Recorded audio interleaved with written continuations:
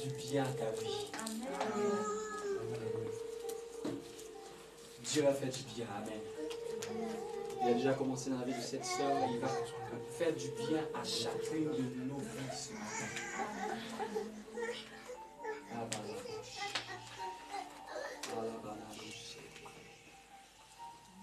Romains chapitre 8.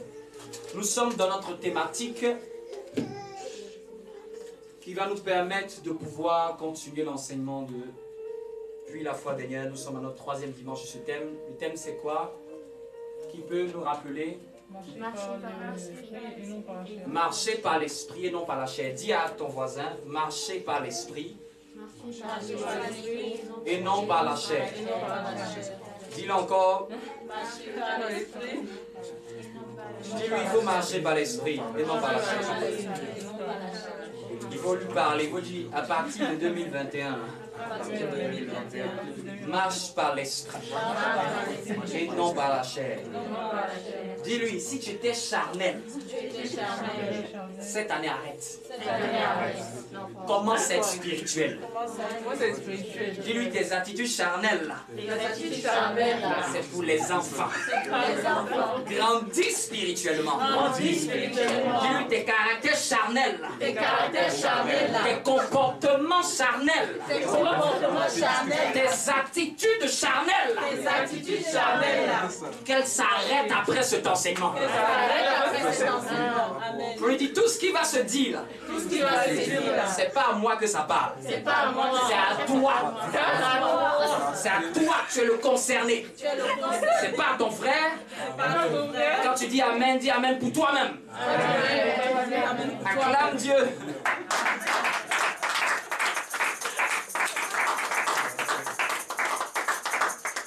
La main droite sur la tête, je vais prier. Seigneur, merci et de toucher leur esprit et d'ouvrir leur intelligence. Que la sainte onction que tu as répandue sur ce ministère, sur ma vie, me permette d'enseigner avec clarté et précision. Que cette parole soit une épée à double tranchant, capable d'enlever l'ivraie et de laisser croître la bonne semence. Que personne ne puisse se borner à écouter cette parole, mais qu'elle aille au plus profond des cœurs et qu'elle libère des personnes ce matin au nom de Jésus. Amen. Donc Romains 8, c'était le chapitre de base et je vais lire rapidement. Amen. Je vais lire rapidement à partir du verset premier. La Bible dit, il n'y a donc maintenant aucune condamnation pour ceux qui sont en Jésus-Christ. Amen. En effet, la loi de l'esprit de vie en Jésus-Christ m'a affranchi de la loi du péché de la mort. C'est ce que nous avons traité les, les, deux derniers dimanches. Nous avons compris que Dieu, par Jésus-Christ, nous a donné de pouvoir briser la loi du péché de la mort. Cette loi qui nous avait emmenés dans la déchéance, dans la malédiction. Et voilà pourquoi Jésus-Christ est mort à la croix, pour nous libérer de cette loi qui donne la mort. Et il nous a donné par sa résurrection la loi qui donne la vie. Amen. Donc, car, chose impossible, parce que la chair la rendait sans force. Dieu a condamné le péché dans la chair en envoyant, à cause du péché, son propre fils dans une chair semblable à celle du péché. Et cela afin que la justice de la loi fût accomplie en nous, qui marchons non selon la chair, mais selon l'esprit. D'où est venu le titre? Qui marchons non selon la chair, mais selon l'esprit. Verset 5. Verset 5. Qui est un verset qui me marque dans ce chapitre. Il me marque depuis une dizaine d'années. Je peux dire même que la première fois que j'ai lu la Bible, je suis tombé sur ce chapitre. Le verset 5 m'a toujours frappé. M'a toujours intrigué. Amen. Il y a des versets comme ça, tu lis, tu ne sais pas pourquoi, mais te frappe. Et lui particulièrement, depuis quand j'étais même au collège, quand j'avais 13-14 ans, il me marquait ce verset-là. Il dit, ceux en effet qui vivent selon la chair s'affectionnent aux choses de la chair. Tandis que ceux qui vivent selon l'esprit s'affectionnent aux choses de l'esprit. Déclarons-le ensemble. Ceux qui vivent selon la chair s'affectionnent aux choses de la chair. Ceux qui vivent selon l'esprit s'affectionnent choses de l'esprit. Amen. Lorsque nous avons commencé à voir ce texte, on a vu dimanche dernier que quand nous n'étions pas chrétiens, il y avait une seule loi qui dominait notre vie. Amen. La loi du péché et de la mort, celle qui nous emmenait dans la boue du péché. Mais par Jésus-Christ, quelque chose de merveilleux s'est passé. Et nous allons lire. Quelqu'un va nous aider à prendre dans Jean 1. Jean 1, 12. Ce sont des choses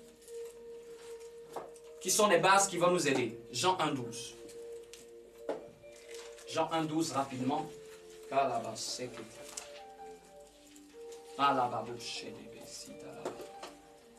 Je lis la parole rapidement.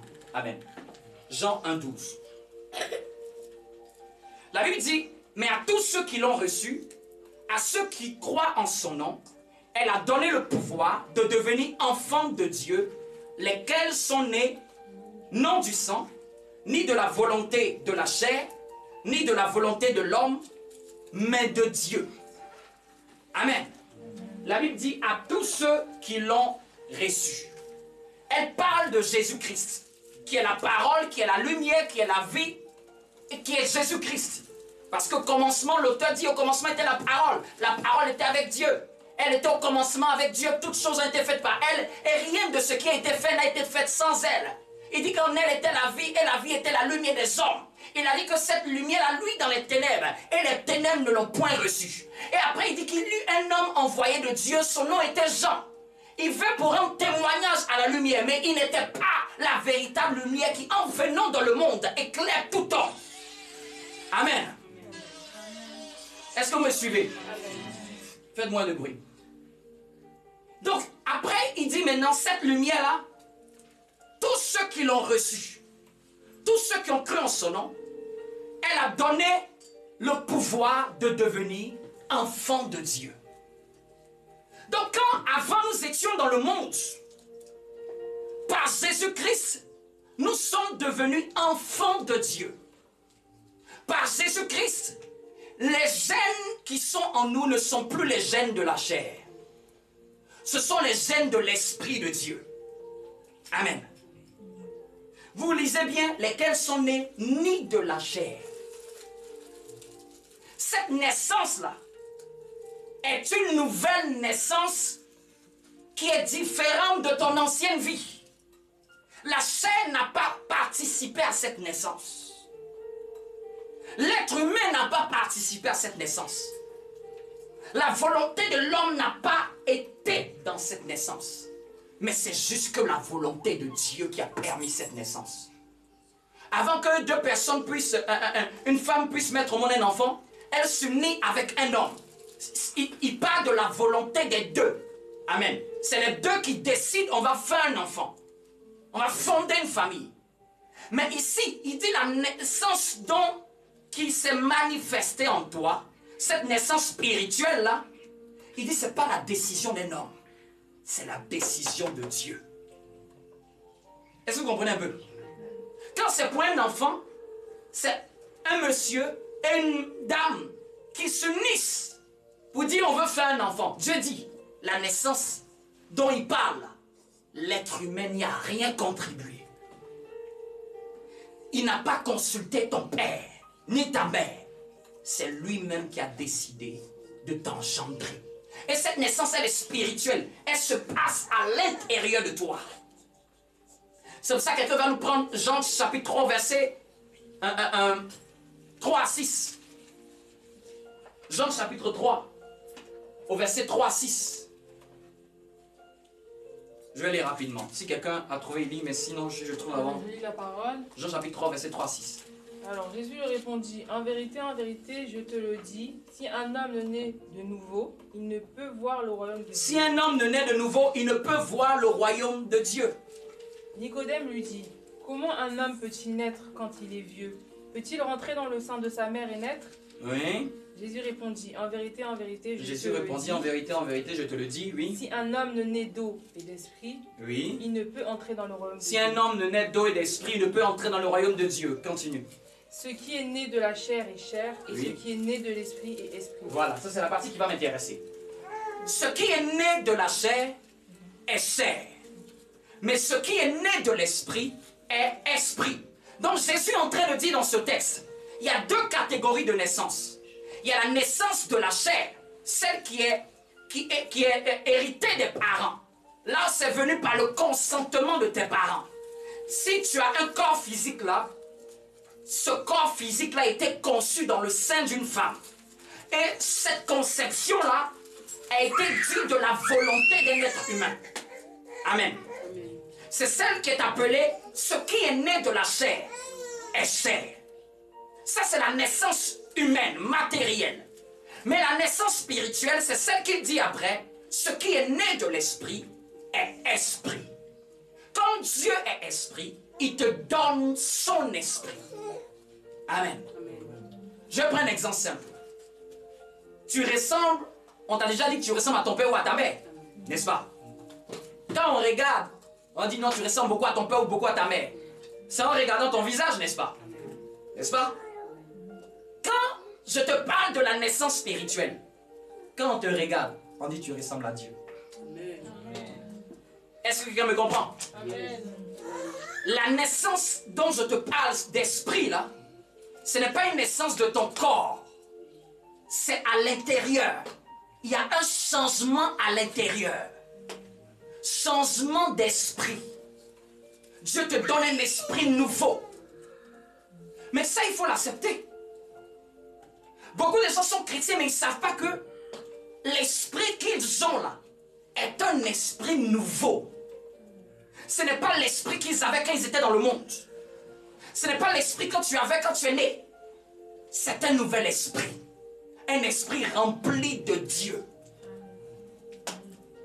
J'explique ça pourquoi?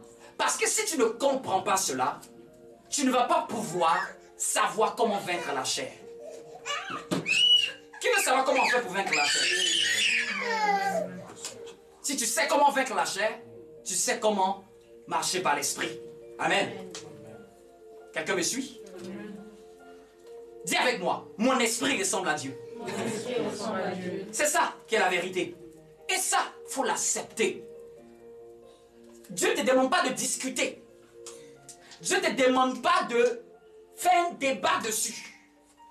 Dieu ne te demande pas de cesser à essayer de comprendre comment ça s'est fait. C'est ça la parole de Dieu. Dieu te parle, tu crois et c'est tout.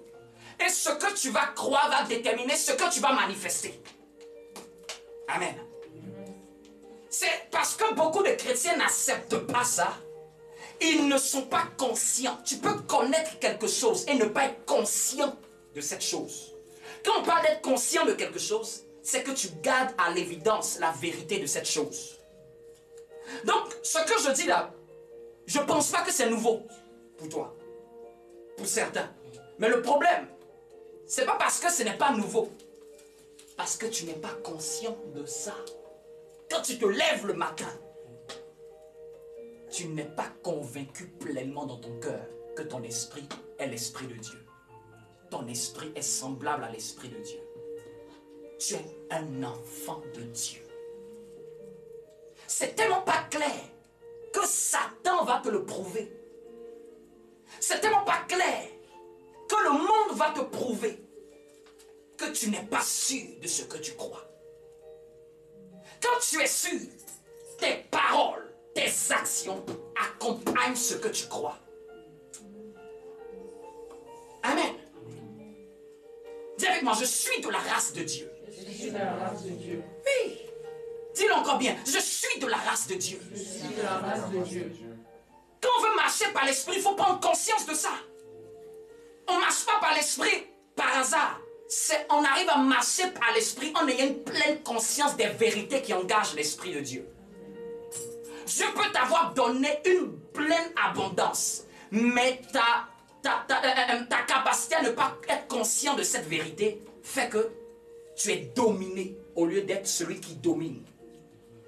fait que le diable semble être le plus fort, bien qu'il n'est pas le plus fort. J'ai dit semble. Semble être, mais il ne l'est pas. Dieu me ramène une image dans mon esprit. Merci Seigneur. C'était dans un film. Il y a des gens qui regardent des films, ils regardent pour oublier ou pour se divertir. Mais ceux qui sont spirituels, quand ils regardent ils peuvent capter un enseignement même dedans. Je me rappelle même plus de ça, mais c'est tout de suite qui m'a ramené ça à l'esprit. C'était deux ingénieurs et un devait aller demander quelque chose à un ado de 12 ans. Et celui qui devait aller demander à l'ado de 12 ans, au fait, c'est quelqu'un qui est. Il est tellement froid, tellement. Je ne sais pas comment t'expliquer quoi. Tellement peureux. Vous savez ce qui s'est passé? Vous voulez savoir? Quand il allait demander la chose à l'ado de 12 ans, vous savez ce qui s'est passé? L'ado de 12 ans l'a répondu très mal, l'a giflé même. Un adulte de 21 ans. Vous savez pourquoi? Ils étaient trois ados, 12 ans, 13 ans. Quand ils l'ont vu, oh, ils se sont foutus de lui. Ils l'ont attaché même. Moi, mais je dis, mais attends, mais c'est qui ça Donc, il est retourné aller voir son autre ami. Vous savez ce qui s'est passé? Quand l'autre ami est venu de la même génération, il a tabassé ses douze enfants. Tabassé qu'ils ont pleuré. Et quand j'ai vu cette image, Dieu me dit, tu sais ça c'est quoi? C'est comme ça que ça se passe à les enfants de Dieu. Il a le même âge de sa catégorie. Il vient vers des enfants. Mais vous savez pourquoi les enfants n'ont pas eu peur? Ils le connaissent, ils savent que c'est un peureux. Celui-là, il, il ne vaut rien. Il n'y a rien. C'est du fake. Même un enfant connaissait que celui-là, il est grand par la taille, par son âge, mais il ne vaut rien, c'est du vent qui est à l'intérieur. Ils l'ont, ça m'a trop fait rire. Ils l'ont giflé même. Il a commencé à pleurer. Mais l'autre, quand il est venu, même âge comme lui, c'est les enfants qui ont commencé à demander pardon, pleurer même. Vous savez pourquoi? Parce que lui, il a manifesté sa position et son âge. Donc, on peut être chrétien ensemble. Mais le fait que tu ne sais pas tellement qui tu es, Satan te gifle. Il est tout petit, mais il fait la gueule. Excusez-moi de ce terme. Il parle fort. Et puis toi, ça t'intimide. Il dit, ah, lui, il n'a pas un pasteur. Lui, là, peut-être, il chôme l'église. Ou il lit pas bien la Bible. On a attrapé un gaou. Chrétien qui est ignorant. Mais on ne va pas le laisser. C'est ça. Donc, vous, vous avez vu souvent même, il y a des gens qui discutent là. Vous avez déjà peut-être vu en entreprise. Il y a des gens qui parlent fort. Mais en fait, ils sont peureux. Et ils font exprès de parler fort pour que ça puisse intimider. Et que tu, tu vois, tu es, tu es âgé, puis tu entends la main, il crie comme ça. Et puis tout, tout, le monde commence à s'abaisser. Parce qu'il a haussé le ton. Le diable est comme ça. C'est ce que Dieu veut que je puisse te dire. Le diable fait du bluff. Le diable bluffe et ça prend celui qui ne sait pas qui il est. Hey! Toi, tu es en train de pleurer. Hé, Seigneur, pourquoi le diable est en train de malmener Tu dis, mais t'as pleuré. Tu as reçu le pouvoir. Tu es mon enfant. Tu n'es pas l'enfant de quelqu'un d'autre. Si le Père grâce Satan, l'enfant, tu veux qu'il fasse quoi?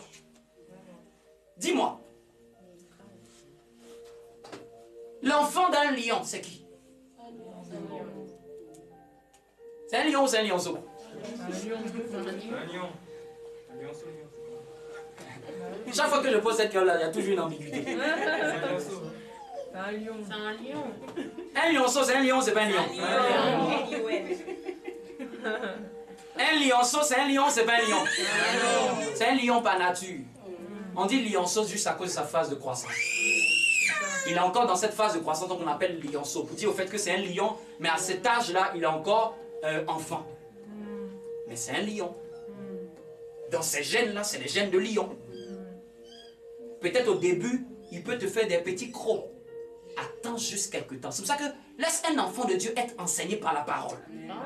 Le diable peut peut-être essayer de jouer un peu avec lui, le titiller, mais laisse-le seulement recevoir la nourriture de sa mère.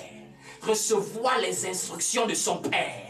Laisse-le grandir. Il y a des choses là, c'est juste que c'est ta croissance qui fait que tu es embêté. Il y a des esprits qui t'embêtent juste à cause de ton niveau. Quand tu vas commencer à grandir, c'est toi-même qui vas les dégager. Ils vont fuir même. Amen. C'est pour ça que quand tu, tu vois les lionceaux, quand ils sont encore petits là, ils restent très attachés à leurs parents. hein. Vous savez pourquoi? Les parents savent qu'ils sont grands, appelés à la grandeur. Mais ils ont un côté fragile qui fait que ils ont besoin de cette nourriture-là. Et c'est ça le rôle pasteur, de te donner cette nourriture-là. De t'équiper, de te donner les moyens de faire grandir ce qui est déjà en toi. Tu sais quoi? Moi, je ne te donne rien. Je ne fais qu'activer ce qui est déjà à l'intérieur. Par les enseignements.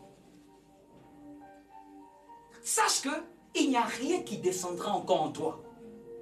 Est-ce que tu sais ça? Tout est accompli.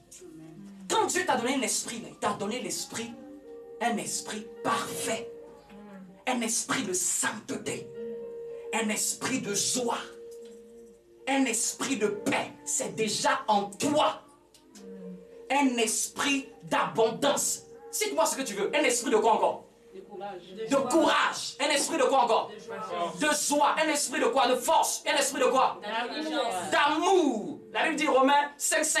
L'esprit de Dieu a répandu l'amour dans nos cœurs. Déjà, il a répandu. Répandu. Tu veux qu'il te donne quoi encore? Tu sais quoi? C'est maintenant toi de prendre conscience que c'est déjà à l'intérieur. Acclame bien. Ton main peut l'embêter.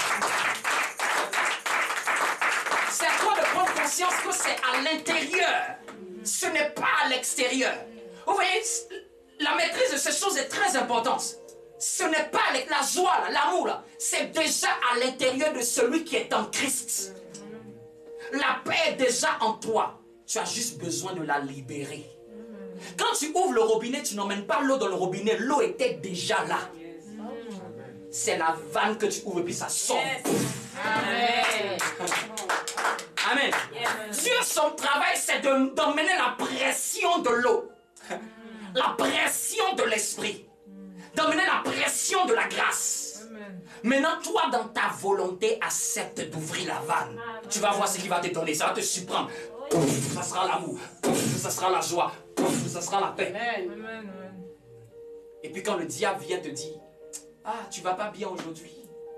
Regarde, décourage-toi, ça n'a pas marché. Quand il vient te dire ça, tu dois dire, je sais qui je suis. Je sais qui je suis. Ma foi n'est pas conditionnée par un événement. Ma foi n'est pas conditionnée par une circonstance. Ma foi n'est pas conditionnée par une difficulté. Au contraire, c'est lorsqu'il y a l'adversité, c'est là que vous allez connaître ma foi. Acclame bien Dieu. Donc,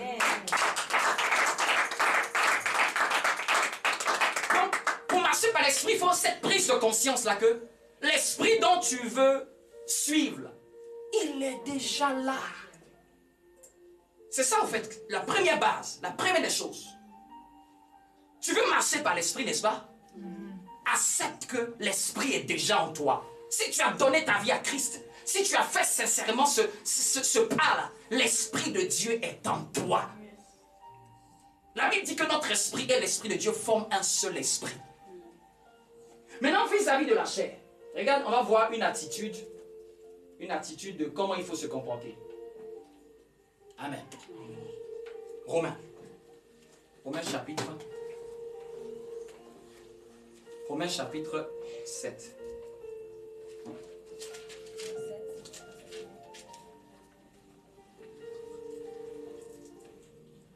Romains chapitre 7.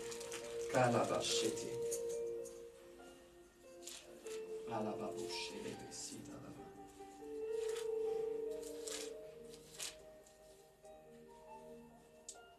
Merci Seigneur. Quelqu'un va prendre et va lire. Je vais lui donner le verset et va lire. Le 6 plutôt. 6, chapitre 6. verset 6. 6, 6. Romains chapitre 6, verset 6. Allons-y rapidement. Quelqu'un peut lire? Moi, je vais lire dans une autre version, mais j'ai besoin que quelqu'un lise dans la version. Vas-y tout doucement, je vais lire avec toi, oui. sachant que notre vieil homme Sachant que notre vieil homme a été crucifié avec lui, a été crucifié avec lui, afin que le corps du péché afin que le corps du péché fût détruit, fût détruit. Amen. pour que nous ne soyons plus esclaves. Pour que nous ne soyons plus esclaves du péché. Amen. Tu peux t'asseoir, sois béni. Je vais lire dans une autre version, ça va nous aider à la compréhension. En un mot, il parle aux chrétiens. Pour ceux qui doivent marcher par l'esprit, il dit bien, comprenez bien ceci. Quand il dit comprenez bien ceci, c'est-à-dire que c'est quelque chose que les gens ne comprennent pas. Si l'apôtre Paul em- emploie ce terme-là, c'est parce que des gens ne sont pas conscients de certaines vérités, de certaines choses qui se sont passées en eux. Est-ce que vous comprenez un peu? Non, il dit comprenez bien ceci. Je suis toujours au 6-6, mais je lis dans la version parole de vie. Ce que nous étions avant. Dis à ton voisin, ce que tu étais avant. Voilà. Ce que nous étions avant a été cloué à la croix. Waouh. Ça, toi, tu ne le sais pas, tu ne maîtrises pas bien ça. C'est ça ton problème. Et c'est ça qui fait que tu as l'impression que le diable est plus fort. Toi, tu penses que ton avant, là, il, il- il- est là. Qu'est-ce que la Bible dit? Ce que nous étions avant était quoi? Crucifié. En d'autres termes, cloué à la croix. Quand quelqu'un est cloué sur une croix, dis-moi, il est, il est dans quelle capacité de faire quoi? Dis-moi. Voilà. Donc quand la chair va vouloir émettre ses désirs vers toi, tu sais, vous lui dites, oh arrête de plaisanter avec moi, tu es déjà cloué. C'est toi qui es cloué, c'est toi qui es influencé. Mais ce n'est pas assez clair en toi. Ce n'est pas assez bien clair dans ton esprit. Quand il va te dire, mets-toi en colère. Parce que il est crucifié. Et qu'est-ce qu'il va faire? Il va commencer à te chuchoter. À distance. Trop mal parlé. Trop mal parlé. Tu vas te laisser faire. Tu vas te laisser faire. C'est à la croix, là. Hein, sa voix mourante, là. Mets-toi en colère. Ma fille, mets-toi en colère. Mon fils, mets-toi en colère. Tu peux pas te laisser faire. Tu peux pas. Tu es un homme, tu es une femme. Faut pas t'indigner. Et puis toi, tu entends cette pensée-là. Et c'est là qu'on prend Romains 5. Tu vas t'affectionner. Dans d'autres versions, tu vas, tu vas obéir à ses désirs. Tu sais quoi? C'est toi qui ouvres le robinet. C'est toi qui ouvres le robinet. S'il y a des dégâts, ce n'est pas parce qu'il est fort, c'est parce que de l'extérieur, il t'a blagué. Et tu dois veiller sur tes pensées. Faut pas te laisser avoir par toutes les pensées qui passent dans ta tête. Toutes ne viennent pas de Dieu. Tes pensées là, c'est comme une gare. Tous les bus arrivent là-bas. Mais seul le bus de Dieu doit être celui qui doit faire descendre les personnes qui sont dedans. Si les autres vous venez, retournez. Vous venez, vous venez, vous retournez, vous faites le tour, vous partez. La pensée de dire, sois en colère. Retourne à l'envoyeur. Énerve-toi, insulte-le. Tout ça, ce sont les œuvres de la chair. Et ce que nous étions avant a été cloué sur la croix, a été crucifié. Dis à quelqu'un, ce que tu étais avant là n'existe plus. Quelqu'un peut ne pas comprendre ça, il peut faire des années. Il est en train de lutter le péché. Il lutte seulement, il lutte seulement. Dieu dit, il a déjà donné un coup. KO. Tu luttes avec qui? Tu luttes avec qui? Quelqu'un qui est déjà crucifié. Oui. Au début de nos vies chrétiennes, quand tu ne connais pas ces vérités-là, tu peux être en train de lutter, lutter, lutter, lutter. Tu dis, mais, Seigneur, j'ai l'impression que mais je crois. Ton problème, tu ne comprends pas bien ce qui s'est fait. Quelqu'un qui est crucifié, tu veux lutter avec lui, pourquoi? Faut connaître son état. Son état là doit être clair dans ta tête. Quand tu sais que l'équipe n'est pas là, c'est forfait. Je n'ai pas besoin de compétir. Amen. Cette vérité, elle est très forte pour marcher par l'esprit. Ça paraît simple, hein, mais c'est ce qui peut, nous en tant que chrétiens, peut nous empêcher si nous ne comprenons pas. On va dire, mais je crois en Dieu, j'aime le Seigneur. Au fait, c'est un manque de compréhension. C'est un manque de pleine conscience qu'il te faut. Il y a une vérité dont tu, ce n'est pas clair dans ton esprit. C'est pas assez clair. Quand tu te lèves le matin, c'est pas assez clair. Lui qui emmène la colère, c'est pas clair que tu- il est crucifié. Lui qui veut te pousser à avoir des désirs sexuels, ce n'est pas clair pour toi qu'il est crucifié. Ce n'est pas clair.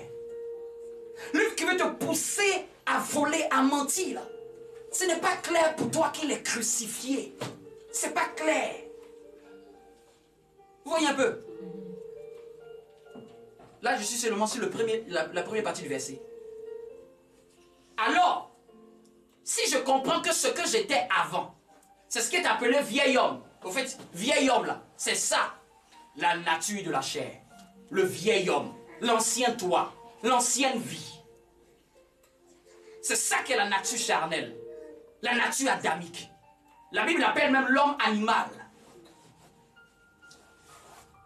C'est pour ça que vous voyez que quand il est pleinement dans la vie de quelqu'un, j'ai l'impression que la personne se comporte comme un animal.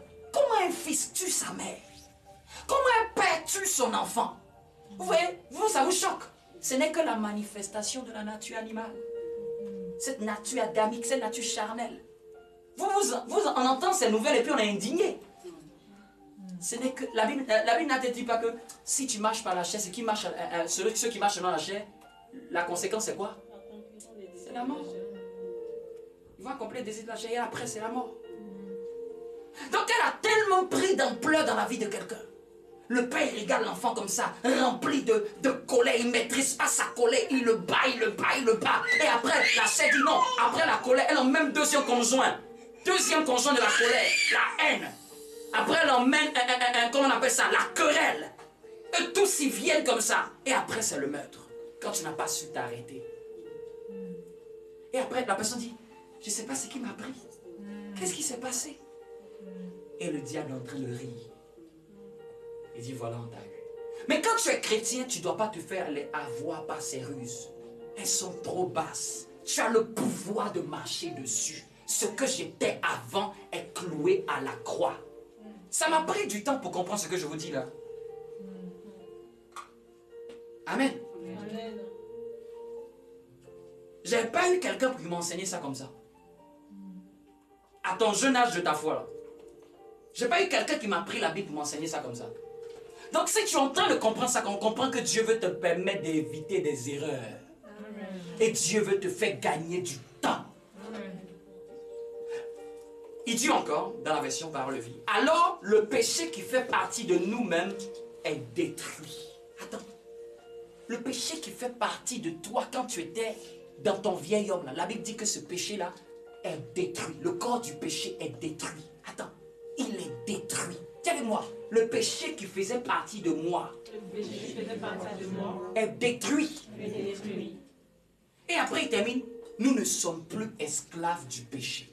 Waouh. Nous ne sommes plus esclaves du péché. Dis avec moi, je ne suis plus esclave du péché. Tu sais quoi? Cette vérité-là, même s'il arrive que par erreur, tu trébuches dans le péché, ça ne veut pas dire que ce qui est écrit là, c'est faux. C'est juste toi qui n'as pas pleinement gardé cette parole-là pour toi. Même si tu as l'impression que ce péché il est plus fort que toi. C'est comme j'entendais un frère. Il disait non, pasteur, c'est plus fort que moi. Ça me prend. Je parlais avec lui. J'ai dit, mais arrête de dire ça. Pourquoi tu peux dire que quelque chose est plus fort que toi? Et vous voyez, moi, je n'étais pas obstiné par ce qu'il disait. C'est le langage. Son langage le trahit. Il dit, non, je suis là comme ça. Quand il y a un truc comme ça, ça me prend. Et j'ai dit que c'est plus fort que moi. J'ai dit, arrête de dire c'est plus fort que toi. Quand tu dis c'est plus fort que toi, dire que ce verset-là, tu, connais, ne connais pas. Tu peux me dire qu'il y a quelque chose qui te met des envies. Mais ne dis pas que non, c'est plus fort que toi. Genre comme si toi tu es une machine et puis ça vient, ça te domine. En fait, si dans sa tête, il se dit qu'à chaque fois, c'est plus fort que moi. Vous savez quoi? Il est déjà vaincu. Il a déjà perdu le combat. Le combat spirituel, là, ça se gagne dans les pensées. Amen. Le combat spirituel, c'est bien au-delà de dire feu, feu, feu. Ça se gagne dans les pensées. Parce qu'avant qu'un acte se passe, c'est que tu as déjà perdu un zéro dans ta tête. Quelqu'un me comprend? Donc quand dans tes pensées, ce n'est pas aussi clair, ce n'est pas tellement sûr, moi qui suis là, impossible, je ne suis pas esclave de toi. Sois qui que tu sois, sois monstre, péché, quelle que soit ta grandeur, quel que soit les autres, si tu veux, ils n'ont qu'à tomber devant ça, ils n'ont qu'à dire que toi, ça là, c'est plus dur. Tout ce, quelle que soit ta tête, ta forme, la Bible dit, c'est pas moi qui dis, ma nature dit, je suis plus esclave de toi. Un point, c'est tout. Et ça, ça doit gravé dans ta tête. Mais le fait dont je parlais là, ça va pour lui dans sa tête, c'est plus fort, c'est plus fort. Je lui dis, ne dis pas ça. Et j'ai dû prendre tout ça, Romain, lui expliquer pendant une journée. Il était chrétien depuis des années. Mais ça, c'était pas clair. Quand on a fini pendant une journée, il dit, mon Dieu, on m'a jamais expliqué ça. Pourquoi on m'a pas dit ça avant? Je lui ai dit, c'est parce que tu as commencé ta foi chrétienne en prenant l'ascenseur au lieu de prendre l'escalier. Tu as voulu aller vite, mais tu n'as raté les bases. Amen. Le péché, mm, je ne suis plus esclave. Est-ce que tu sais c'est quoi ne plus être esclave? Tu es libre. Non, quel que soit ce que tu sens dans ton corps, dis-lui, je suis plus ton esclave. Quel que soit ce qui monte dans tes émotions, genre ça t'énerve jusqu'à tu veux te gonfler. Hé, je ne suis pas esclave de cette colère. La personne n'a qu'à faire la chose qui va t'énerver. Dis à la colère, je suis plus ton esclave. Dis à l'orgueil. Parce que ce qui fait même quand on s'énerve, c'est l'orgueil. C'est l'orgueil. L'ego de l'être humain. Je dis à l'orgueil, je ne suis plus ton esclave. Amen. Dis à l'orgueil, je ne suis plus ton esclave. Tu peux plus me prendre comme la télécommande, comme ma fille prend la télécommande, puis elle appuie, puis ça, ça marche. Attends, je suis ton robot. Le diable, il fait comme si tu as branché un fil, un faux fil, et puis il appuie sur la commande, et puis il voit que tu bouges. Il dit, depuis là, le fil était débranché, c'est toi qui ne savais pas.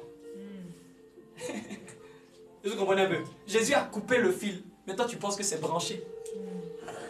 Et toi tu continues à bouger au son de la musique. Mais il n'y a plus de musique. Vous avez déjà vu cette image, on a attaché un- un- un- une corde à une chaise, à un âne. Et il ne bouge pas toute la journée. Une petite chaise. L'âne a plus de force. Et il reste attaché. Vous savez pourquoi? Dans sa tête, il pense qu'il est emprisonné. On a fait l'expérience. On a mis un insecte dans un bocal.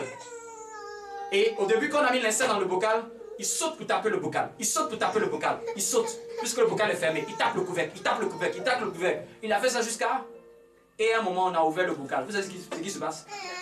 Il sort plus. Quand il saute là, il s'arrête toujours au niveau de là où l'ouverture était. Et il redescend. Tandis qu'il saute plus haut que ça. Vous savez pourquoi? Il pense que la barrière est toujours là. Et c'est ce qui se passe. Tu penses qu'au fait que ton vieil homme là te domine toujours. Tandis que Jésus t'a libéré. Jésus l'a cloué à la croix. Jésus l'a enfermé, l'a enchaîné. Il peut te parler, mais il ne peut plus te commander. Il ne peut plus te dominer. Il ne peut plus te faire violence par lui-même. S'il arrive que tu fais quelque chose de sa part, c'est toi qui lui as donné le passeport. Il va te dire merci d'avoir fait ce que je t'ai dit. Avant, moi, je n'avais pas besoin de ton consentement. Avant, il n'avait pas besoin de ton consentement. hein. Maintenant, regarde comment il lutte avec toi. Comment, regarde, regarde comment tu es fort. Il lutte avec toi. Avant, laisse-il lutter avec toi. Tu remarques, tu remarques pas qu'avant, il y a certaines choses que tu faisais, Et maintenant, là, c'est plus dur que tu fasses. Je te demande, qu'est-ce qui, qu'est-ce qui a changé en toi? C'est ta couleur? Qu'est-ce qui a changé en toi? C'est ton teint? Ou bien on t'a fait un- un- un- une chirurgie esthétique Dis-moi, qu'est-ce qui a changé? Tu es la même personne, la même fille de ta mère, le même fils de ton père? Mm. Qu'est-ce qui a changé? C'est le renouvellement de ton intelligence. Amen. Ta compréhension, c'est ta foi à commencer à croire que toi, tu es libre. Amen. Et quand tu commences à croire à 10%, tu vas vivre les résultats de 10%. Mais quand tu commences à avoir une foi totale, tu sais quoi? Ce que quelqu'un va dire, hé, c'est dur. Ceux qui commencent à avoir une foi totale, pour eux, c'est normal. C'est pour ça que quelqu'un qui est dans le monde, il ne comprend pas. Mais comment ça se fait que toi, depuis que tu es en Christ, tu n'as pas besoin d'être avec un homme? Quelqu'un te demande, attends, tu n'as pas des envies là? Si, j'ai des envies. Mais je suis maître de mon corps. Mon esprit domine mes pensées. Est-ce que tu n'as pas envie de te, mettre en colère? Oui, la colère peut arriver, mais je maîtrise ma colère. Est-ce que tu n'as pas souvent envie de te fâcher? Souvent envie d'insulter? Oui, ça vient, ça me propose, on me propose même comme des CDI. Embauche. Un Jules avec contrat, on va, on va te payer un milliard. Je refuse. Tu sais quoi? C'est ça qui fait la différence. C'est que toi maintenant tu es tellement libre que maintenant tu dis je refuse. Regarde combien de fois tu as refusé. Et tu penses que y a quelque- y a- tu as besoin de quelque chose de plus. Non, non, non, non, non. Tu as besoin de croire. Croire. Croire. Tu, as- tu penses que tu as besoin encore d'une autre force comme Superman? On doit te donner encore une autre force. C'est la même foi que tu dois entretenir. C'est la même foi que tu dois déployer. La même foi que tu dois libérer. Étendre. Tu dois l'expandre. Amen. Quelqu'un me suit? Je vais prendre encore un autre texte. Kalababosete. Kalabababosete. Merci Seigneur Dieu de gloire. Malababoshete. Merci Seigneur que je retrouve ce verset. Verset 12. Romain. Oui, verset 12 de Romains. Est-ce que ça fait du bien à quelqu'un cette parole? Amen. Acclame Dieu si ça te fait du bien. Donne-moi un amen de victorieux. Un amen de victorieux. Je dis que cet enseignement-là va t'aider pour toute ta vie. Amen. Verset 12. Quelqu'un pour le lire? Dans sa version et puis je le lis dans la version du second. Verset 12. Romains 8, verset 12. Vas-y, vas-y, vas-y. Il déclare que le péché ne règne donc au point dans votre corps mortel. Et n'obéissez pas à ses convoitises. Relime un peu au-dessus, à partir du verset 11. Sur le verset, Ces versets-là, notez-les très bien. Très bien. verset 11. Versets 11 et 12. Ainsi vous-même, Ainsi vous-même, regardez-vous. regardez, hein, il parle de vous. Il parle de nous. Parce qu'il sait que, au fait, les chrétiens n'avaient pas bien compris. Donc, il dit ainsi de même, regardez-vous. Voyez-vous. Considérez-vous. Que ça soit clair dans votre tête. Quoi? Comme mort au péché, Regarde-toi comme mort au péché. Dis-moi, quelqu'un qui est mort là, tu peux lui dire de faire quelque chose. Regarde-toi comme mort au péché. C'est que quand le péché arrive là, toi, vois-toi comme quelqu'un qui est mort vis-à-vis de ça. Vois-toi, faut, faut, faut l'accepter. Dis au péché, mais attends. Comment quelqu'un qui est mort, tu peux l'influencer? Je suis mort, l'ancienne nature là, elle est morte. C'est l'ancienne que tu pouvais influencer. La nouvelle là, elle est puissante, glorieuse, excellente, merveilleuse, divinement grande. Mais le vieil homme là, mon ancienne nature est morte. Regarde, elle est- si tu veux la chercher, va dans les eaux du baptême. Tu sais, c'est qui qui peut être influencé? Celui qui est resté dans les eaux du baptême. Est-ce que tu comprends un peu ça? Celui qui peut être influencé là, c'est lui qui est resté dans les eaux. Celui qui est sorti là impossible. C'est comme un Superman, un Iron Man. C'est comme un Iron Man. Impossible. Quand ça arrive, c'est juste que c'est toi qui as ouvert la vanne. Au fait, tu comprends que ce qui t'arrive, c'est que c'est toi qui l'as permis. Ce n'est plus le diable qui le permet. Le diable ne permet rien. Le diable demande l'autorisation avant de faire quelque chose dans ta vie. Est-ce que tu sais ça maintenant? S'il te plaît, tu ne peux pas signer ce passeport qui fait va te mettre là en colère toute la journée? S'il te plaît, s'il te plaît. Et toute la journée derrière toi, s'il te plaît, s'il te plaît, s'il te plaît, madame, s'il te plaît, ma soeur, s'il te plaît, énerve-toi, énerve-toi, énerve-toi. Et puis toi, momentanément, tu en as marre. Tu ne sais pas dire, la joie de l'éternel est ma force. Tu ne sais pas contrecarrer aussi en disant la joie de l'éternel est ma force. La, la- la joie de l'éternel est ma force. Lui, il te dit s'il te plaît, s'il te plaît. Puis toi, tu restes, tu parles pas. Toute la journée, tu parles pas. Tu sais ce qui va se passer? Tu vas dire donne, je vais signer. C'est bon. C'est ça votre problème. Quand il chante comme un DJ dans ta tête, tu joues pas une musique qui va contrecarrer cela. C'est pour ça que dans la foi, il y a certains versets, c'est important de les connaître à cœur. Amen. Oui, oui. C'est pour ça qu'il y a des versets que j'ai fait 12. Quelqu'un, lui, il va prendre ça, il va croire que c'est juste des versets, il va se balader. Celui qui va les saisir à la fois, il va voir la puissance de ces versets. C'est pour ça que même toute euh, euh, euh, cette, cette- cette année-là, on va le déclarer beaucoup ici. Parce que ce que tu ne confesses pas, tu ne l'obtiens pas. Ce que tu ne déclares pas, tu ne le manifestes pas. Amen. Est-ce que tu peux nommer ce que tu veux, dire ce que tu veux, afin de prendre ce que tu veux C'est comme ça que ça fonctionne au ciel. Donc c'est écrit dans la Bible, mais tu peux ne pas vivre. Parce que tu ne le prends pas. Tu n'as pas pris ce verset. Tu n'as pas fait de ce verset-là comme une forteresse. Donc tous les jours qu'il se lève le matin, décourage-toi. Abandonne l'église. Abandonne cette œuvre de Dieu. Arrête de servir Dieu. Décourage-toi. Toujours il est en train de te chanter. Jusqu'il a créé même un refrain. Décourage-toi. Décourage. Et puis toi, tu l'as tout le matin, tu l'as, tu vas au travail, tu rentres à la maison, tu vas au travail, tu rentres à la maison. Tu sais ce qui va se passer? Faut pas t'étonner, tu vas chanter ça le lendemain matin. Je suis découragé. C'est comme ça que ça se passe. Parce que tu as signé. Il t'a tellement proposé. Et que toi, tu n'as pas fait de contre-proposition pour dire quelle est ta position. Ce que tu ne dis pas, tu le consens. Tu ne dis rien, c'est que tu acceptes. Non, dans votre foi, ne soyez pas passif. Passif, c'est genre spectateur. Des pensées tombent dans ta tête. Et toi, tu ne dis rien.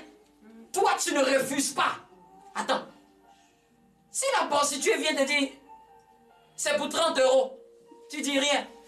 Elle va continuer à venir. Si quelqu'un te dit non, tu veux pas un peu de drogue là Et puis tu parles pas. Tu sais ce qui va se passer? Il va se dire lui là, on peut le prendre. On peut, on peut insister. Si l'agent de commercial là commence à parler, puis tu dis non, j'en en veux pas. Et puis tu restes, ok, d'accord, ok. Elle voit que tu restes 30 secondes avec elle. Elle dit ça on va insister. C'est quelqu'un qui peut pas dire non. Ça vous est jamais arrivé? Ceux qui ne veulent pas qu'est-ce qui se passe? Désolé, je veux pas. Raconte en même temps. C'est comme ça qu'on traite la chair. Amen, Amen. Non, c'est pour, une, euh, pour, pour une proposition de l'assurance. Je ne veux pas. Et, et c'est pourquoi je ne veux pas. Tu fais ça deux fois, trois fois. Tu sais quoi? Dans leur tête, ils savent que ce prix est catégorique. Satan est un peu comme ces gens-là. T'appelles. Vous voyez pas, souvent il t'agace même, ton téléphone sonne. Souvent il est prêt même à te rappeler à 18h. 22h.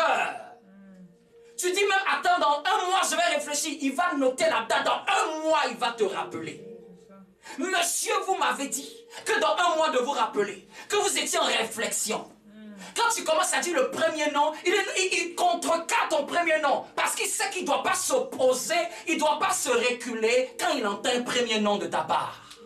C'est pour ça que la parole, il faut rester ferme. Ton premier nom peut être un nom de, de juste pour dire non. Mais on va voir. Et souvent, finalement, t'as tellement mis, non, tu vas avoir des réductions, tu vas avoir tellement des réductions, puis comment ça dit, bon, c'est bon, ça coûte combien? Et puis tout de suite, là, par quatre, tout de suite, tout de suite, tout de suite! Maintenant, même là, tu donnes accord par la bouche. Oui, je valide. On n'a même plus, on n'a même plus t'envoyer le contrat, parce qu'on sait que si on t'emmène le contrat, là, à la maison, tu vas dire, oh, c'est le truc que j'avais dit oui, là, c'est bon, je veux pas. Maintenant même, monsieur, vous n'avez pas la carte bancaire. Tout de suite, tout de suite, le diable est chaud derrière toi. Mais toi, à quel point tu es catégorique sur ce que tu crois? C'est ça qui manque à des enfants de Dieu. Tu n'es pas ferme concernant ce que tu crois. Parce que déjà, il faut connaître le verset. Si tu ne connais pas les versets, tu es déjà foutu. Et même quand tu connais les versets, à quel point tu restes ferme dessus? À quel point tu ripostes À quel point tu contrecarres ce qui t'est proposé? À quel niveau? La Bible dit, as-tu persévéré jusqu'au sang? Est-ce que tu as déjà lutté? La Bible dit, résister au diable. Il fera quoi? Donc on ne chasse pas le diable, il fuit lui-même. Par ta résistance. Donc ceux qui sont en train de dire, sors, sors, sors. Il dit, tu n'es un plaisantin. Moi, je ne fuis pas. Je, je, on ne me chasse pas. C'est toi, ton attitude qui va me faire fuir. Vous voyez? Souvent, il est comme une censure. Il connaît un côté faible. Donc quand il commence à connaître un côté faible, c'est à toi de te renforcer dans ce côté-là. C'est à toi de prendre les versets comme les comprimés. Mais le problème, c'est que tu connais peut-être ta faiblesse, mais tu ne prends pas les versets dans ce sens-là pour. Tu vois, tu prends les cachets, quoi. Les versets de la parole de Dieu sont comme des cachets. Il faut les avaler. Il faut les déclarer. Je suis né de Dieu. Je suis de la race de Dieu. Je suis béni de toutes sortes de bénédictions spirituelles dans les lieux célestes. Je ne suis point condamnable. Est-ce que ça s'est gravé dans ton cœur matin, midi, le soir? Est-ce que c'est clair? Mais quand il revient à la charge, il trouve une âme faible une âme qui n'a pas gardé la parole. David dit, je sais ta parole contre mon cœur ne pas pécher contre toi. C'est-à-dire que la parole de Dieu, si tu ne l'as pas serrée contre ton cœur, il t'est plus facile que tu te fasses avoir par Satan. Par les ruses de la chair. Satan est derrière les ficelles de la chair avec comme une manette de PlayStation. Tape, tape là. Ici, là, elle s'énerve beaucoup. Tape là-bas, tape, tape. Celle-là, elle insulte beaucoup. Après deux cas de tout, elle va commencer à débiter. Connais, tape Celle-là, elle n'aime pas qu'on commence à lui marcher dessus. C'est pour ça que il y a des choses dans ton cœur, ça doit tomber. Non, moi, j'aime pas qu'on me parle comme ça. Arrête ça. Dieu va permettre qu'on te parle comme ça, et puis il va voir ce que tu vas dire. tu sais quoi? Ça, c'est toi, tes idoles. Non, moi, je peux à toi accepter, mais pas les foutaises. Dieu va permettre qu'on se foute de toi. Jusqu'à tu vas dire que la joie de l'éternel est ma force. non, moi je peux, je peux tout accepter, mais pas le manque de respect. Dieu va me permettre quand on te manque de respect. Va dire, je, je crois qu'il y a des limites chez toi, non? On va voir jusqu'où tu as des limites. Est-ce que c'est moi ma limite? Moi, on a craché sur moi, j'ai rien dit. C'est toi, ma création. Toi, on n'a même pas craché sur toi. Juste quelqu'un, et puis tu veux te gonfler et ne pas te redégonfler. Tu peux être souvent énervé, mais après tu te calmes, tu te ressaisis. Mais toi, pendant deux jours, trois jours, une année, ce qu'elle m'a fait. Même Dieu dit à Satan, faut continuer ce que tu fais, c'est pas grave. Le jour qu'elle va comprendre, elle va comprendre. Donc souvent, les gens ont trop de trucs dans leur... Tu as trop de limites personnelles. C'est ça qui fait que la chair trouve un chemin.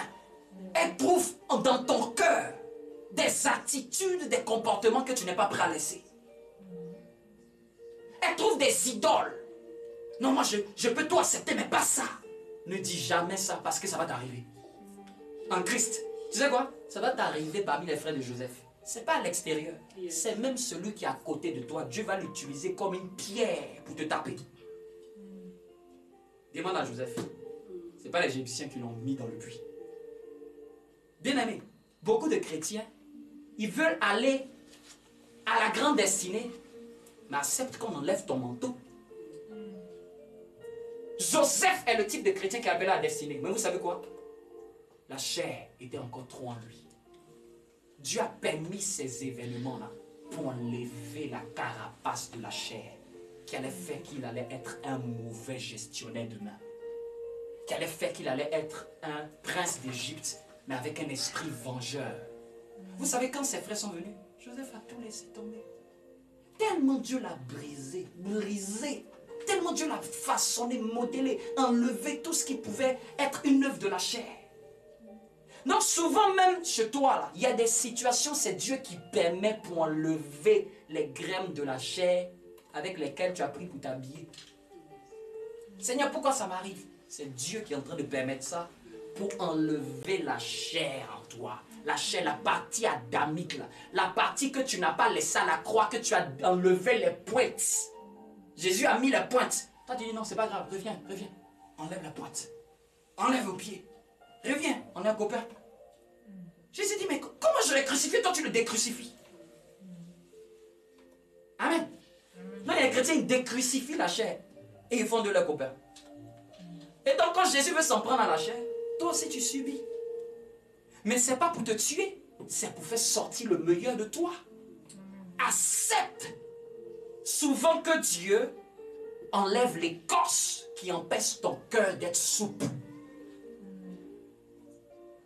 Cette carapace qui est autour de ton cœur. Cette attitude, ce comportement, cette mentalité. Continue, verset. On est au verset 11. Oui, pense- regardez vous-même comme moi au péché, oui. comme mort au péché et comme vivant pour Dieu en Jésus-Christ. Amen. Je vais lire dans la version par la vie. De même, vous aussi, vous devez penser ceci. J'aime bien cette, y a cette version. Vous aussi, pardonnez. Vous devez penser ceci.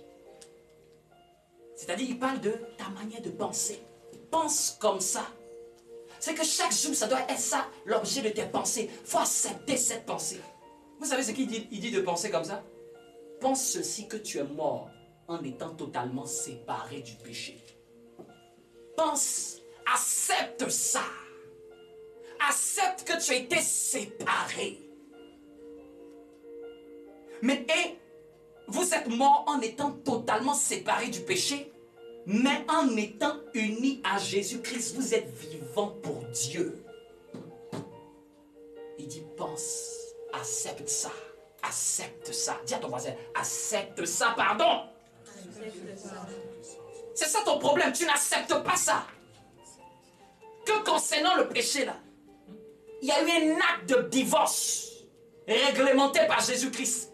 Maintenant tu es fiancé à Jésus-Christ en tant qu'église. Tu es mort vis-à-vis du péché. Tu es séparé totalement de lui. Il ne te demande pas de discuter. Même si tu as un jour de conversion, c'est ton partage. Même si quelqu'un vient de se confesser aujourd'hui, d'accepter Jésus-Christ comme Seigneur, vous savez quoi, ce verset est pour lui. Ce n'est pas une question d'année dans le Seigneur. Les gens pensent que non, il faut que je fasse 3 ans, 10 ans de conversion pour devenir meilleur chrétien. C'est faux. Tu as juste besoin de la révélation pour devenir un bon chrétien. C'est la révélation qui est claire. C'est la révélation qui éclaire les hommes simples. C'est pas les années de conversion. C'est la révélation. Dis-moi quelle est la révélation que tu as des Écritures? Je te dirai ton niveau de foi. Donc quelqu'un peut avoir 10 ans de conversion, mais il peut être toujours comme un bébé spirituel, malmené par la chair, malmené. Comme un, un chiot que tu peux bousculer, taper, chuter. Parce qu'il n'a pas grandi.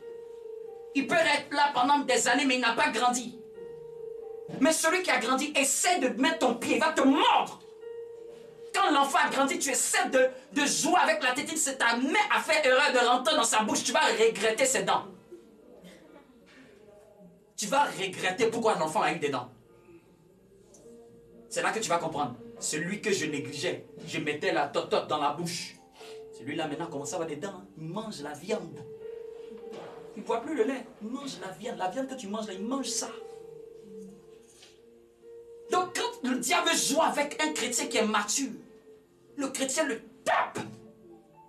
Les démons veulent jouer avec lui. Le tape. Ils disent non, lui là, non, il connaît sa parole. Le diable n'a pas peur que tu pries seulement. Parce que beaucoup de gens y prient, beaucoup de gens prient. Le diable a peur que tu aies la connaissance des Écritures et que tu aies foi en ces Écritures. Voilà pourquoi vous allez voir. Dans le monde entier, les gens prient seulement, ils prient seulement, mais ils manquent de compréhension. Ici il dit, vous devez penser ceci. Ici, t'as pas dit de. Est-ce qu'il t'a dit de jeûner?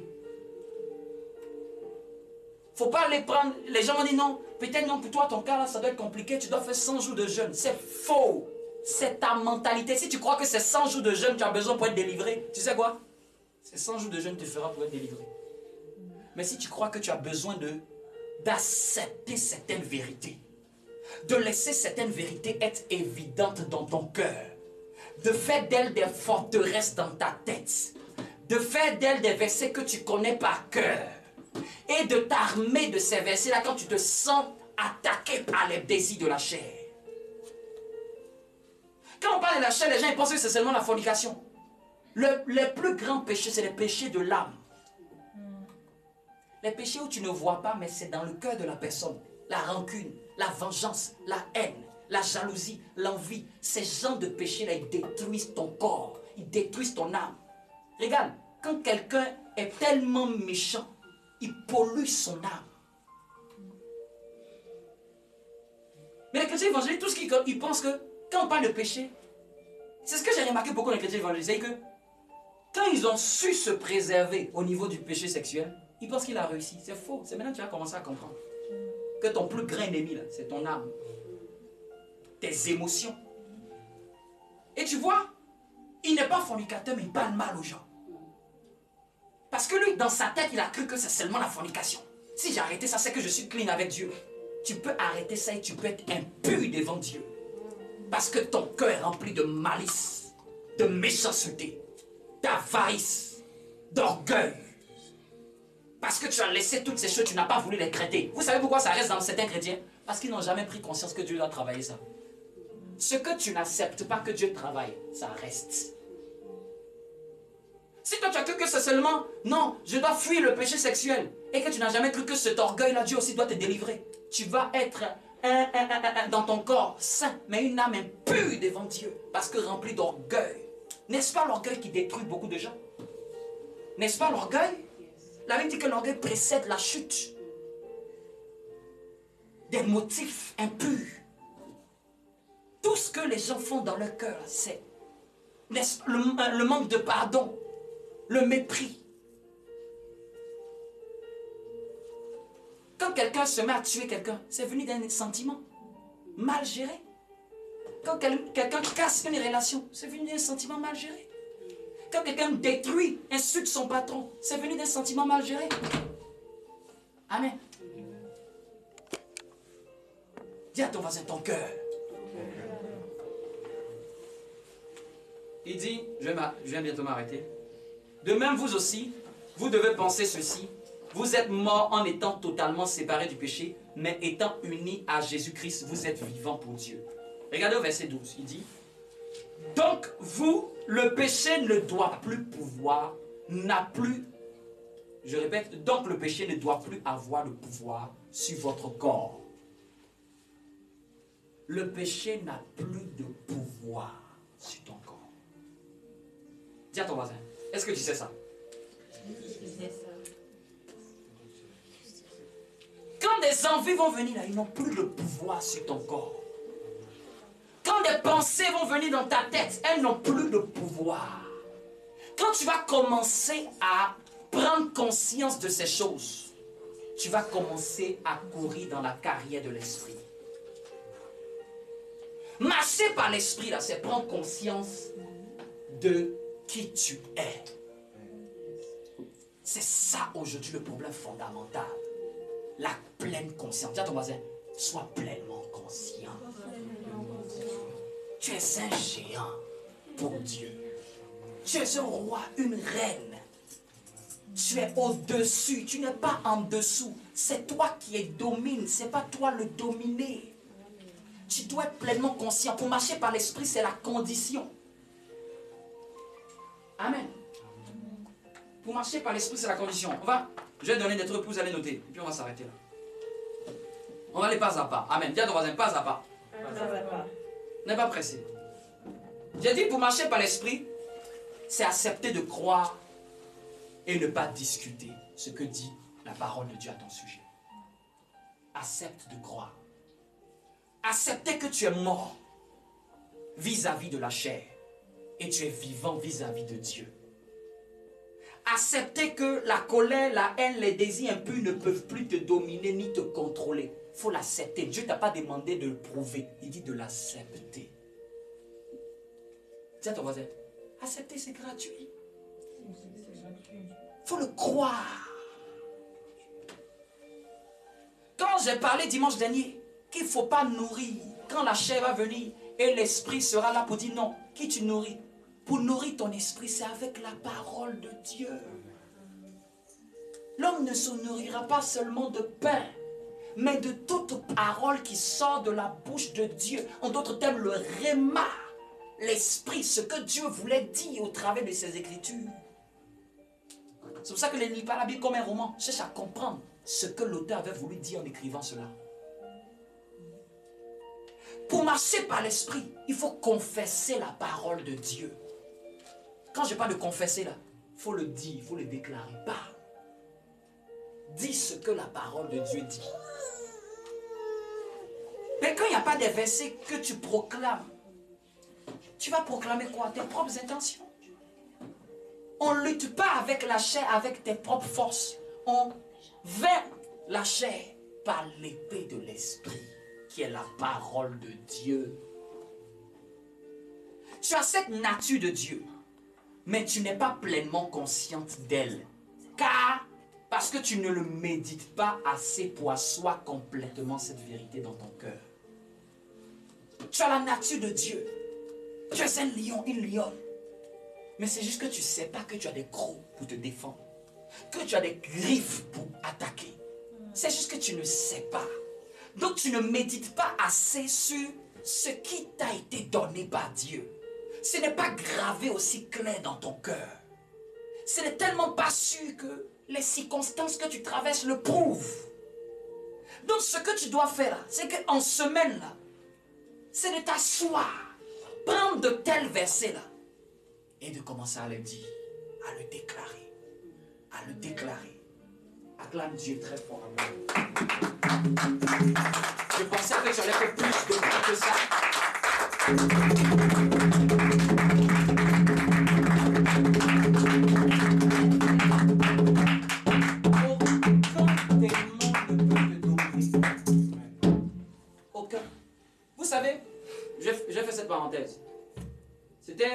Une servante de Dieu qui avait l'habitude de faire la délivrance pour les gens. Et un jour, elle allait dans une famille et elle voulait faire la délivrance d'une personne. Et quand elle a voulu faire la délivrance de cette personne, elle voyait que à chaque fois, la personne était, était là, mais se laissait faire quoi. Se laissait faire. Donc, l'esprit l'emmène se cogner la tête là-bas, à gauche. Souvent, on peut penser que c'est spectaculaire. Vous savez ce qui s'est passé Elle a arrêté la délivrance. Elle a dit, passive. C'est-à-dire, Jean, tu es là, mais tu ne luttes pas. Tu penses que ces gens, je m'attends comme ça. Et puis, regarde, regarde lever. À l'intérieur de toi. Quand elle lui a dit ça, elle a dit, un esprit n'est pas obligé de parler dans ta bouche. Amen. S'il parle, c'est parce que tu lui as permis. Et il n'est pas obligé de prendre ton corps là. Il va l'emmener dans la douche là-bas. Ici, jeter partout. De te jeter dans le feu, dans l'eau. En fait, quand ça se passe là, c'est-à-dire qu'au fait, tu lui as laissé le volant tu n'as plus voulu combattre. Elle a expliqué ça pendant des heures. Vous savez, quand ils ont refait la délivrance, ça a changé. La personne était assise et on a chassé le démon. Vous voyez Compréhension a changé la manière de faire la délivrance. La compréhension seulement a changé la manière de faire la délivrance. Donc, avant, là, c'était qui? Avant, là, c'était la passivité. Vous croyez que non Elle doit laisser faire. Même à l'intérieur, il faut lutter. Il faut désirer que s'ils ne, ils ne sont pas de toi. Il faut désirer qu'ils ne t'influencent pas. Il faut désirer qu'ils n'aient pas à te dominer, à t'écraser. Parce que les démons ont cette faculté de vouloir écraser la volonté des êtres humains. Mais on résiste avec la forteresse de la parole de Dieu. Quand il parle, il met une pensée dans ta tête. Tu vas échouer. Tu dis, je ne mourrai pas, je vivrai, je raconterai les œuvres de l'éternel. Mais quand il dit, tu vas échouer, tu commences à dire, j'entends, pasteur, j'entends. Souvent, arrêtez de fatiguer le pasteur parce que vous ne méditez pas la parole de Dieu. Pasteur, ça fait trois jours, j'entends une voix qui me dit, à chaque fois, tu vas échouer. Eh Dieu. Et tu sais rien dire. Pasteur, pasteur, j'en- j'entends à chaque fois dans mon rêve qu'il y a toujours quelqu'un qui veut me poignarder. Toujours quelqu'un qui. Et toi, tu ne dis rien quand tu te lèves. C'est que tu es passif, quoi. C'est que tu es spectateur. Non! S'il dit que tu vas échouer, tu dis tu es vaincu au nom de Jésus. S'il dit que non, je t'ai enchaîné et à cause de cette chaîne-là, tu ne vas pas réussir, tu dis c'est impossible, je suis libéré en Jésus-Christ. J'ai le pouvoir de tracer la mort, la maladie. J'ai le pouvoir. Faut confesser ce que tu crois. La délivrance, ça vient quand tu confesses ce que tu crois. Tu le confesses jusqu'à ce que ça lâche prise. Parce qu'on ne marche pas par la vue. Il peut sembler que tu sens comme si tu es enchaîné. Mais tu dis, je suis libre au nom de Jésus. Tu confesses, je suis libre. Mais à chaque fois que tu es en train de dire, je suis libre, la chaîne qui était là comme si c'était enchaînée commence à se briser. Pourquoi? Parce que l'individu lui-même a commencé à prendre conscience de sa liberté. Le diable t'enchaîne à la mesure de ton ignorance. Il te lie à la mesure de ton ignorance et de ta bouche qui se ferme. Mais quand tu commences à te lever au nom de Jésus-Christ, quelle que soit l'entité satanique, c'est comme sa taille, sa couleur, tu ne domines pas cette maison. Tu ne domines pas cette destinée. Le micro, ça t'étonne, mais tu, tu pries chez quel pasteur? Comment tu peux me parler comme ça? Avant, c'était toi qui subissais. Bien aimé, les démons mal fait, mal fait de ne pas t'empêcher d'être ici. Parce que ici, tellement je vais te donner le sérum de la parole. Amen, amen. Tu sais, quand tu as mis la drogue dans un drogué, qu'est-ce qui se passe? Il perd la tête. Amen. Tellement je vais te mettre la drogue de la parole de Dieu. Que tu veuilles, que tu veuilles pas, quand tu vas bouger là, c'est la parole. Ils vont te demander. Il- Le Dieu m'a dit, purée, j'ai mal fait qu'ils connaissent ce verset. C'est mal fait qu'ils connaissent ce pasteur. C'est mal fait qu'ils connaissent cette Bible, qu'ils connaissent cette partie-là. C'est mal fait qu'ils entendent cet enseignement. Comment on a pu? Lui-même, il va frapper tous les démons. Comment vous avez pu laisser qu'ils entendent cette révélation? Comment? Satan va être déchaîné pour dire comment avez-vous pu laisser cette personne avoir cette maturité? Ici, tu n'as pas le choix, tu vas être mature. Amen. Amen. Ici, tu n'as pas le choix, c'est toi qui vas dominer. Ici, tu, tu n'as- lève-toi et puis tu vas commencer à proclamer avec moi. Je veux que tu commences à parler, à déclarer, comme enfant de Dieu, à déclarer que c'est toi qui domine, que c'est toi qui écrase, c'est toi qui es en haut et non en bas. C'est toi qui écrase, c'est toi qui domine, c'est toi qui domine, c'est toi qui domine sur toutes les pensées. Oui, si tu veux battre les mains, battre les mains. C'est toi qui domine, c'est toi qui règne. Confesse ta, ta liberté ou la chose que tu désires. Confesse qu'aucun démon ne peut t'influencer, aucun démon ne peut t'empêcher d'entrer dans ta destinée, aucune pensée de la terre.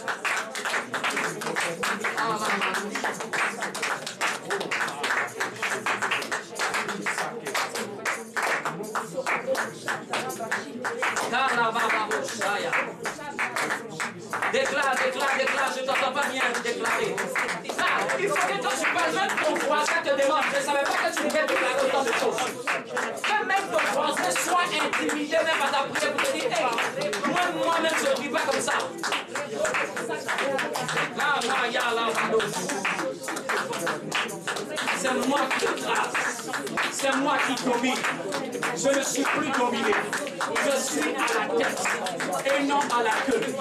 Je ne suis point condamnable.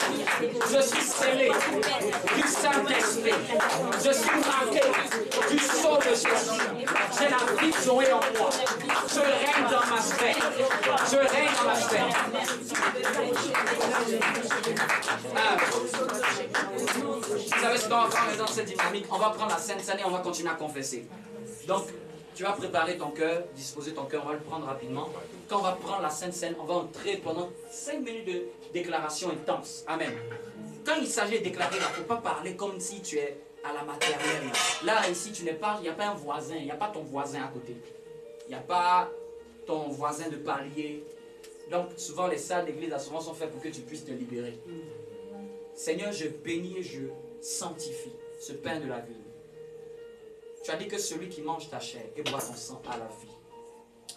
Quelle que soit la mort qui pouvait être dans le corps d'une personne, qu'elle soit écrasée par la vie Zoé au nom de Jésus. Amen. Tu peux t'approcher, disposer ton cœur, disposer ton cœur.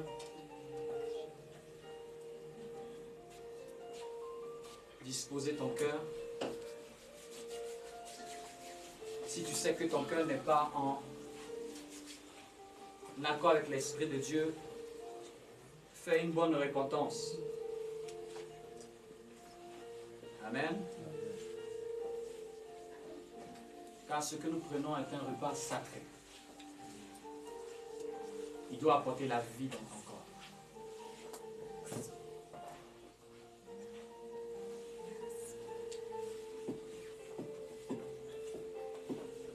Et quand on finit, tu prends ton offrande ou ta dîme, tu la gardes dans tes mains et tu vas déclarer. Cette offrande sera comme un point de contact. Amen.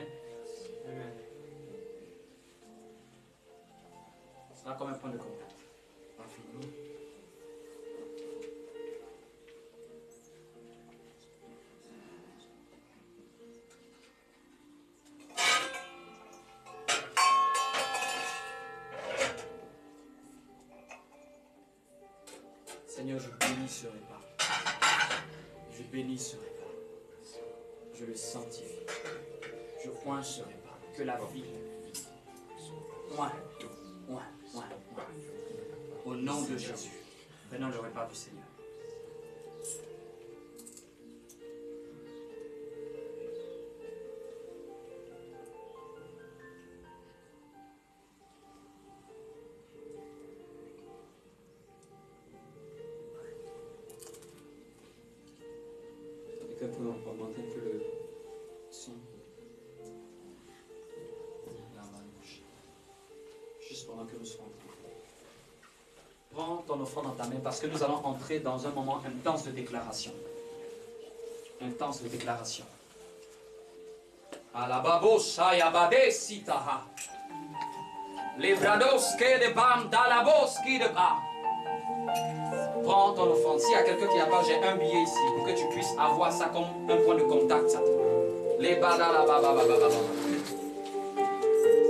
Ebrebe shalababa. S'il y a quelqu'un qui, qui qui en avait besoin et qui n'en a pas, qu'il me dise rapidement, qu'il vienne prendre rapidement. Mais je veux que quelqu'un en ait des points de contact. Les bras, c'est bon, tout le monde a, tout le monde a quelque chose dans sa main. Les blessés que des barras, dalababo shalaba. Elebe sita la baba baba shedebe. Les balababo shalaba. Les shalaba shalaba. Les babababos, les bédédédi shaba. Ferme les yeux, nous allons entrer dans un moment intense de déclaration. Bien aimé, il faut quand tu dois parler là, tu dois parler avec assurance. La marée bédédi c'est barato logo à la balea. La babababo c'est tététi de baha. Bababababababababa yem c'est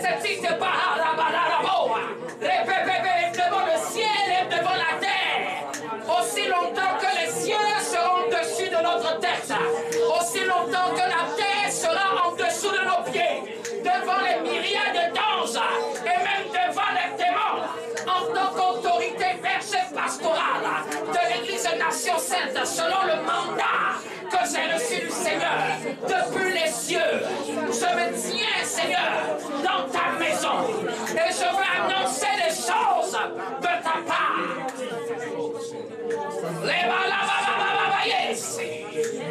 tu vas déclarer avec moi, au nom de Jésus, au nom de Jésus, je suis plus que vainqueur. Dis-le avec force et assurance. Au nom de Jésus, je suis plus que vainqueur.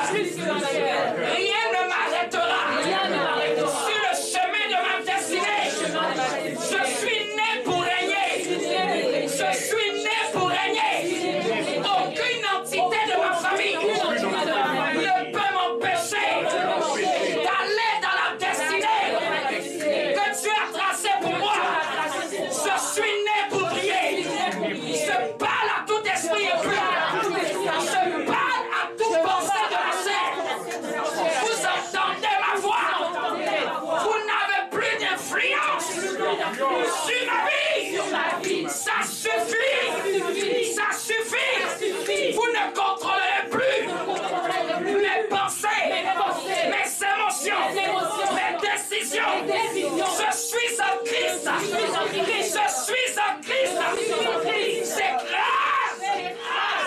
qui sont pauvres!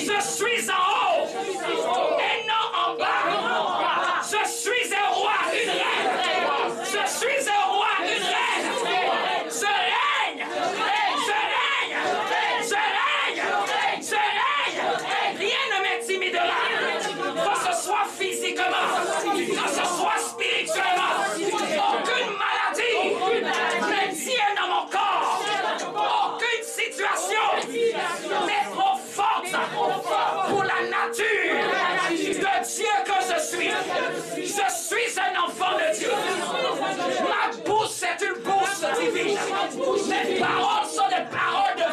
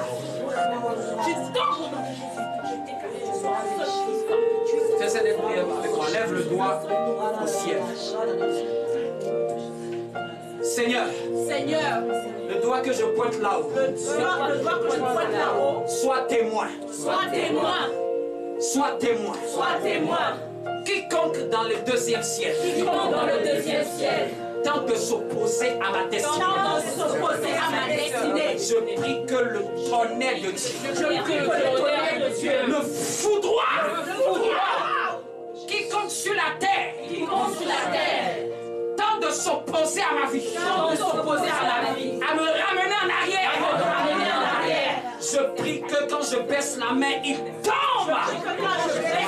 Tombe. Tombe. Acclame très fort. Amen.